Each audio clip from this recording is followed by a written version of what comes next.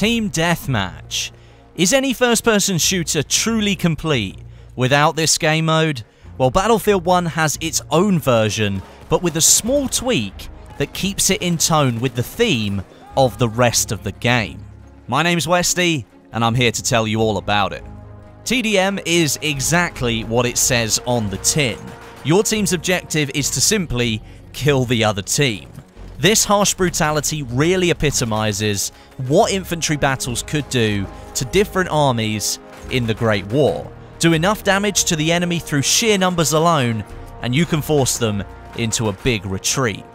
Fight across different battlegrounds like the Italian Alps, the deserts of Arabia, the Western Front, and the French countryside, taking on the role of huge armies like the Italians and empires like the Ottomans as you seek to be overall victorious.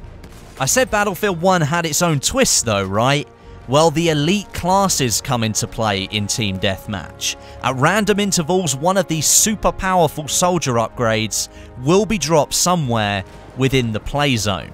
If you can grab it and utilize it well, it could be the key to your team's victory.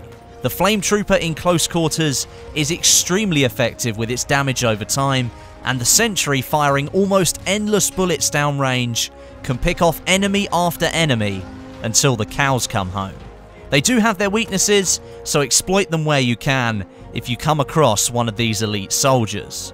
At its core, Team Deathmatch is about who can inflict the most damage. First to eliminate the enemy team wins, or should you need it, the team with the most kills before the timer runs out will emerge victorious. Thanks very much for watching. Make sure you come and check out my channel, youtube.com forward slash Westie. All the Battlefield 1 news, information, and entertainment in one place.